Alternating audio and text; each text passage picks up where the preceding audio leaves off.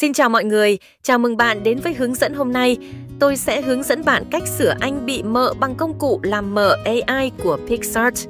Cá nhân tôi thấy Pixart hữu ích hơn các phần mềm AI khác, đặc biệt là trong việc nhận dạng anh đã quét cũ của tôi, điều mà nhiều công cụ trực tuyến khác đấu tranh với. Quá trình này cực kỳ đơn giản và có thể ngay lập tức làm cho anh của bạn rõ ràng và chuyên nghiệp hơn. Cho dù bạn đang xử lý một bức ảnh được quét cũ, hình ảnh bị mở hay một bức ảnh không được đẹp, công cụ này có thể giúp đưa những chi tiết đó trở lại. Bước 1. Truy cập công cụ xóa mờ AI của Pixart. Trước tiên, hãy truy cập trang web của Pixart. Bạn có thể tìm thấy liên kết trong phần mô tả bên dưới để truy cập công cụ nâng cao hình ảnh AI của họ, bao gồm cả công cụ làm mờ.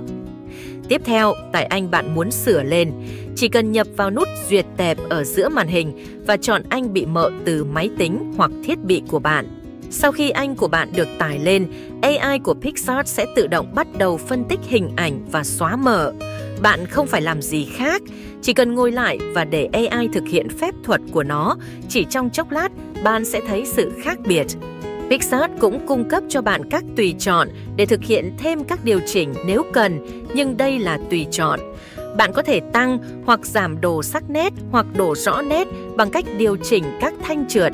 Hãy thoải mái thử nghiệm các cài đặt này cho đến khi bạn hài lòng với kết quả.